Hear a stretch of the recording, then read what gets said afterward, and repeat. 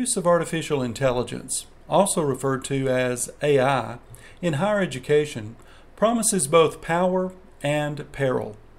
The prospect of providing just in time and just right learning resources offers the hope of effectively scaling education, especially for those who have been historically underserved. But the threat of AI being misused or overused may foster fear, which could obliterate the opportunity. Hi, I'm Dr. Mac Adkins, founder and Chief Academic Officer for SmarterServices. I'm pleased to announce that I was offered the opportunity to provide a chapter to a recently published book titled AI Ethics in Higher Education Good Practice and Guidance for Educators, Learners, and Institutions. The opportunity for SmarterServices to make a meaningful contribution to the book was offered by one of our clients. Dr. Divya Singh serves as the Chief Academic Officer of Stadio Holdings, which manages three higher education institutions in South Africa, providing over 90 accredited programs to over 30,000 students. Since 2019, Stadio has utilized the SmarterMeasure Learning Readiness Indicator as a student service for its incoming students. Through this collaboration, Dr. Singh recognized the expertise and experience that SmarterServices has in using AI to assess and monitor assessments taken by students. One of the reasons I was excited about this project was that it was a collaborative effort of many persons representing multiple perspectives. As is stated in the preface of the book, we have brought together contributions from researchers who understand well both the technical aspects of AI and related digital technologies, but also draw on their expertise as ethicists, educators, philosophers, lawyers, theologians, and more. My background provides me with both a personal and professional interest in this topic. I hold an undergraduate, graduate, and professional degree in theology. I also hold a degree in higher education leadership.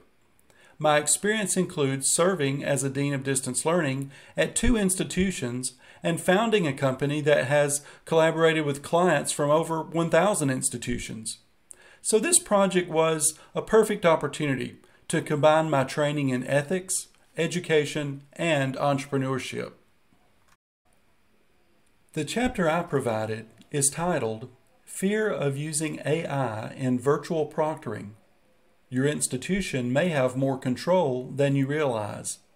I begin with references to Hollywood blockbuster movies that have proliferated the fear of AI. The consistent theme in these movies is that AI becomes more intelligent than the humans who created it. So, therefore, we should fear and restrict AI.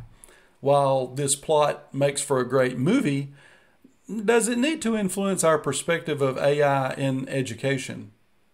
In the context of AI powered exam proctoring, these fears can be mitigated by understanding what the AI is monitoring. The chapter breaks this down into facial, vocal, and screen monitoring functionalities. I then define how persons at the institutions, which could be instructors, instructional designers, and or administrators, can be in control over these monitoring functions. The levels of control are discussed at the enterprise, exam, and student levels. Since authoring this chapter, SmarterServices has developed a new virtual proctoring modality that can further appease some of the fears associated with AI. This new modality is called hybrid virtual proctoring.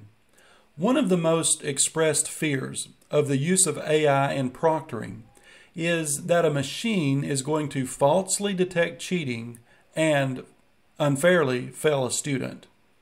Using SmarterProctoring, this could never be the case, since even with fully automated virtual proctoring, the AI only detects and reports potential testing anomalies. It is always the instructor or an appropriate person at the institution who makes the decision regarding academic integrity violations.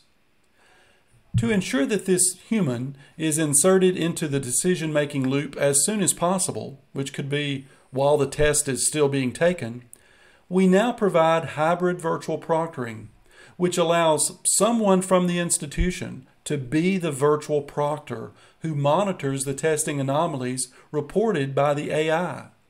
These persons could be testing center employees, e learning staff, teaching assistants, or the instructor. They are empowered to intervene and stop the assessment if they, not the AI, determine that cheating is taking place. Finally, I must acknowledge the efforts of Globethics.net, who published this book. They are a global network of teachers and institutions with the vision to embed ethics in higher education. They strive for a world in which people, and especially leaders, are educated in, informed by, and act according to ethical values, and thus contribute to building sustainable, just, and peaceful societies. They achieve this through a global digital ethics library with over 3.7 million documents, professional development through online and offline courses, a global network of experts, and finally, their own publishing house which has released over 150 publications, including this recently published book. For a free copy of the AI Ethics in Higher Education book, click the link in this blog post. I trust that this resource will be both informative and influential.